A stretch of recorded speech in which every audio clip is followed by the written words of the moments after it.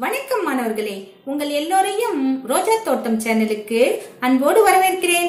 மாணவர்களே இன்று நாம் மாணவர்கள் நினைத்தால் என்ற அழகான பாடத்தை தான் பார்க்க போகிறோம். அதன் பின்புறம் தரப்பட்டுள்ள பயிற்சி வினாக்களையும் முடிக்க போகிறோம். வாங்க பார்க்கலாம். சிறுமி மேரி மகிழ்வோடு துள்ளி குதித்து ஓடி வந்தால் தனது தோழி மகிழினியை பார்க்க. அவளிடம் இன்று காலை எங்கள் வீட்டு பசு கன்று ஈன்றுள்ளது. இனி நான் எங்கள் வீட்டு கன்று குட்டியுடன் விளையாடுவேன் என்றார். அதை கேட்ட மகிழினி என்னையும் விளையாட்டில் சேர்த்துக்கொள் என்றார். அப்போது மேரியின் வீட்டு மாட்டுத் தொழுவத்தில் ஒரே கும்பல். ஓடிச் சென்று பார்த்தனர். அவர்கள் கண்ட காட்சி கல் நெஞ்சையும் கசிந்துருகச் செய்வதாக இருந்தது. கன்றை ஈன்ற பசு தனது கழிவினை வெளியே தள்ள முடியாமல் இறந்து போயிருந்தது. பாதி வெளிவந்திருந்த கழிவில் நிறைய நெகிழி குப்பைகள் காணப்பட்டன. அந்நெகிழியால் தான் இறப்பு ஏற்பட்டதாக கால்நடை மருத்துவர் கூறிக்கொண்டிருந்தார். வேதனையுடன் பள்ளிக்கு சென்றனர் மேரியும் மகிழினியும். சோகமாக அமர்ந்திருந்த இருவரையும் அழைத்து காரணம் கேட்டார் வகுப்பாசிரியர். பிறகு நெகிழிகளை பயன்படுத்துவதால் பல தீமைகள் ஏற்படுகின்றன. மட்காத இந்த குப்பைகளால் சாக்கடையில் நீர் தேங்கி துர்நாற்றம் வீசுவதோடு ஈ மற்றும் கொசுக்கள் உற்பத்தியாகி நோய் பரவுகிறது. நெகிழி குப்பைகளை எரிப்பதால் ஓசோன் படலம் பாதிப்படைகிறது. இதனால் சூரியனின் புற ஊதா கதிர்கள் நம்மை நேரடியாக தாக்குகின்றன. இதனால் தோல் வியாதிகள் ஏற்படுகின்றன என்று விளக்கினார். இது பற்றி பேசிக் கொண்டிருப்பதை விட்டுவிட்டு செயலில் இறங்குவோம் என்றார். பள்ளியின் நலன் காக்கும் பள்ளி மேலாண்மை குழுவினை கூட்டி நெகிழி பற்றிய தீமைகளை எடுத்துரைத்தார்.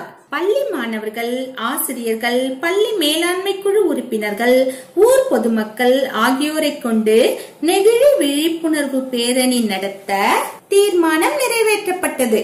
அனைவரும் விழிப்புணர்வு வாசகங்கள் எழுதப்பட்ட பதாகைகளை ஏந்தி வாசகங்களை கூறிக்கொண்டே கிராமத்தின் அனைத்து தெருக்களிலும் பேரணியாக வந்தனர். இம்மாதிரியான விழிப்புணர்வு வாசகங்கள் எழுதப்பட்ட துண்டு பிரசுரங்களை பொதுமக்களிடம் கொடுத்து நெகிழியின் தீமைகளை எடுத்து கூறினார். மேலும் மாணவர்கள் அனைவரும் பயன்படுத்தப்பட்ட காகிதங்களை கொண்டு பைகள் செய்து வைத்திருந்தனர். அதனை அவ்வூரின் அனைத்து கடைகளிலும் கொடுத்து அந்த பைகளை பயன்படுத்த சொல்லி நெகிழியின் தீமைகளை எடுத்து கூறினர். உள்ளூர் மக்களிடம் இனி கடைகளில் பொருள்கள் வாங்கும் போது துணிப்பைகளை கொண்டு செல்ல அறிவுறுத்தினர்.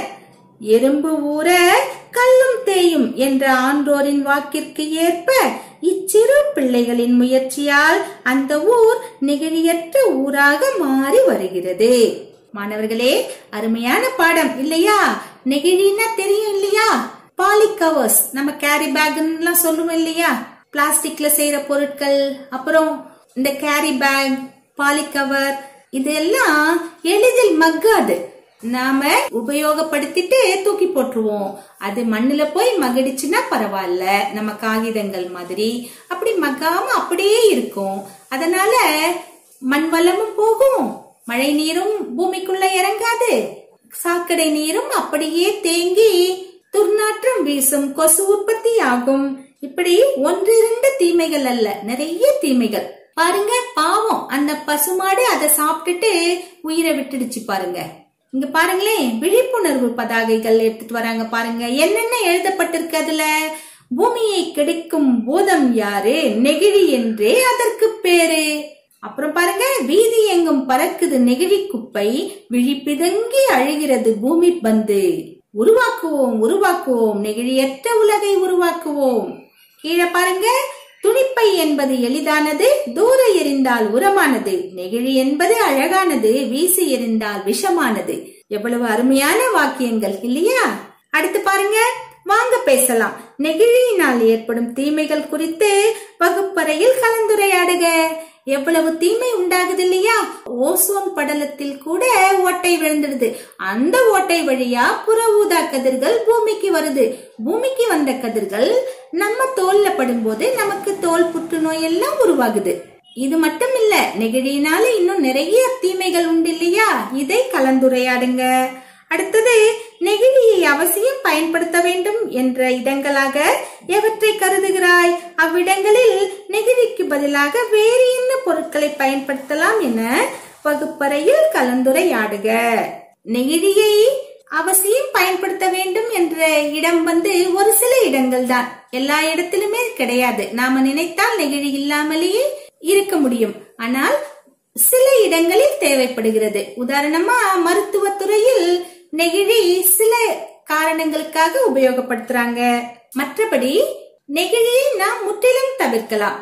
மருத்துவத்துறையில் கூட முக்கியமான சில இடங்களில் அவைகளை உபயோகப்படுத்தலாம். மற்ற இடங்களில் தவிர்த்து விடலாம். மருத்துவத்துறையில் கூட நெகிழிக்கு பதிலாக சில இடங்களில் கண்ணாடியை உபயோகிக்கலாம். கண்ணாடி என்பதும் மக்காத பொருள்தான். ஆனால் அது நூறு சதவீதம் மறுசுழற்சி செய்யக்கூடிய ஒரு பொருள். கண்ணாடியை தொழிற்சாலைகளில் இட்டு மீண்டும் புதிய கண்ணாடிகளாக உருவாக்கலாம். நூறு சதவீதம் அதை மறுசுழற்சி செய்யலாம். இப்ப காகிதங்கள் புத்தகங்கள் எல்லாம் எடைக்கு போடுறோம் இல்லையா? அது ஏன் போடுறோம்? அவைகளை தொழிற்சாலைகளில் மறுசுழற்சி செய்து புதிய காகிதங்களாக புத்தகங்களாக உருவாக்குவார்கள். அதே போன்ற பண்பு கண்ணாடிக்கு உண்டு. நெகிழி பயன்படுத்தியே ஆக வேண்டும் என்ற இடங்களில் கண்ணாடியை வேண்டுமானால் நாம் முயற்சி செய்து பார்க்கலாம். அடுத்து பாருங்க. படிப்போம் சிந்திப்போம் எழுதுவோம் தரப்பட்டிருக்கு சரியான விடையை தெரிவு செய்வோமா? ஒன்று முயற்சி இச்சொல்லின் பொருள் டேஷ் சரியான விடை ஊக்கம். இரண்டு ஆன்றோர் இச்சொல்லின் பொருள் டேஷ் சரியான விடை பெரியோர். மூன்று வைத்திருந்தனர் இச்சொல்லை பிரித்து எழுத கிடைப்பது டேஷ். சரியான விடை வைத்து கூட்டல் இருந்தனர். நான்கு. வீதி எங்கும் என்ற சொல்லை பிரித்து எழுத கிடைப்பது டேஷ் சரியான விடை வீதி கூட்டல் எங்கும். ஐந்து. நெகிழி கூட்டல் அற்ற என்பதை சேர்த்து எழுத கிடைக்கும் சொல் டேஷ் சரியான விடை நெகிழியற்ற. அடுத்தது ஆறு. பாதிப்பு கூட்டல் அடைகிறது என்பதை சேர்த்து எழுத கிடைக்கும் சொல் டேஷ் சரியான விடை பாதிப்படைகிறது. அடுத்தது வினாக்களுக்கு விடையலி. ஒன்று மேரி இனி யாருடன் விளையாடப் போவதாக கூறினாள். விடை மேரி அவள் வீட்டு கன்றுக்குட்டியுடன் விளையாடப் போவதாக கூறினாள். இரண்டு பசு எதனால் இருந்தது? விடை பசு நெகிழி கழிவுகளை சாப்பிட்டதால் இருந்தது. மூன்று நெகிழியினால் ஏற்படும் தீமைகள் இரண்டிலே எழுதுக. ஒன்று நெகிழிகளால் சாக்கடை நீர் தேங்கி நிற்கும். இதனால் ஈ கொசு உற்பத்தியாகி நோய் உண்டாகிறது. இரண்டு ஓசோன் படலம் பாதிக்கப்பட்டு நமக்கு தோல் நோய்கள் ஏற்படுகின்றன. நான்காவது கேள்வி நெகிழி விழிப்புணர்வு வாசகம் ஒன்றை உருவாக்குக. உருவாக்கலாமா? போதும் பூமி பட்ட பாடு போய் வா என்று நீ பாடு. நெகிழ்ந்து போகாதே நெகிழியிடம். மகிழ்ந்து போ மஞ்சப்பையிடம் நெகிழ்ந்து போகாதே நெகிழியிடம். மகிழ்ந்து போ மஞ்சப்பையிடம் அடுத்தது பொருத்தமான சொல்லை எடுத்து நிரப்புக. ஒன்று நெகிழியற்ற டேஷ் உருவாக்குவோம். உலகை உருவாக்குவோம். இரண்டு நெகிழியை ஒழிப்போம். டேஷ் காப்போம். மண்வளம் காப்போம். மூன்று மேரி டேஷ் குதித்து ஓடி வந்தாள் சரியான விடை. மகிழ்வோடு குதித்து ஓடி வந்தாள். நான்கு எறும்பு டேஷ் கல்லும் தேயும். ஊற எறும்பு ஊற கல்லும் தேயும். ஐந்து துணிப்பை என்பது டேஷ். துணிப்பை என்பது எளிதானது. அடுத்தது இணைந்து செய்வோம். நெகிழி பொருள்களுக்கு மாற்றாக எளிதில் மக்கும் பொருள்களாக எவற்றையெல்லாம் பயன்படுத்தலாம் என்பதை பட்டியலிடுக. பாருங்க அவங்களே ஒரு காகித பையில தான் இத அச்சடிச்சிருக்காங்க. இந்த மாதிரியான பைகளை நாம் உபயோகிக்கலாம். வாங்க என்னென்ன பொருட்களை உபயோகப்படுத்தலாம்? ஒன்று ரெண்டு மூன்று நான்கு ஐந்து கேட்டிருக்காங்களே. எழுதலாமா?